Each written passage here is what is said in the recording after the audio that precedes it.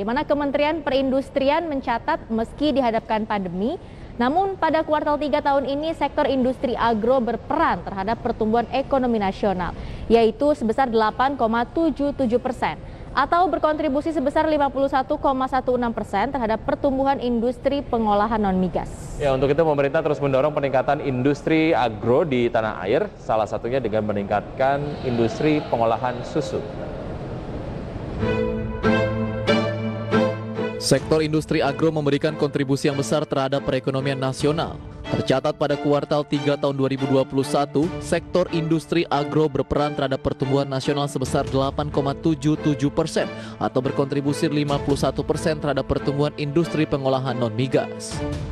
PLT Direktur Jenderal Industri Agro Kementerian Perindustrian Putu Juli Ardika menyebutkan, industri makanan dan minuman sebagai subsektor industri agro memberikan kontribusi sebesar 38,91 persen terhadap pertumbuhan industri pengolahan non-migas.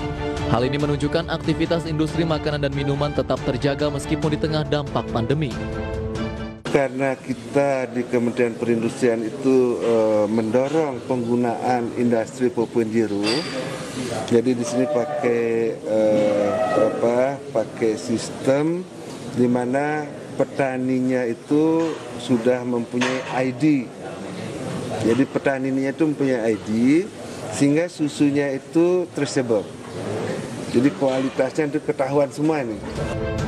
Sementara itu, sektor industri agro juga berperan penting dalam memberikan kontribusi terhadap capaian nilai ekspor industri pengolahan non-migas dengan sumbangsinya sebesar 36,73 persen atau berkontribusi sebesar 28,54 persen terhadap total ekspor nasional pada triwulan 3 2021.